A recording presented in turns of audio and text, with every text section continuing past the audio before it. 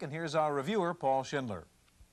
When I was a kid, if you wanted to buy and sell things, you did it on a Monopoly board.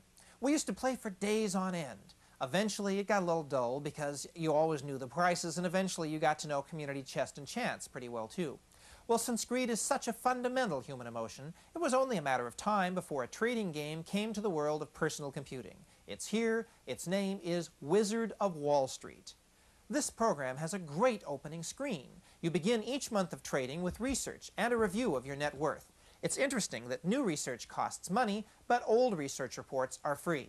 You can buy and sell, or, for the esoteric, there are puts, calls, and options. This is a real-time game with a news ticker and a stock ticker. If you don't execute your trade fast enough, prices change and you make or lose money pretty fast. If you panic, you can freeze the trading day to give yourself time to think about things.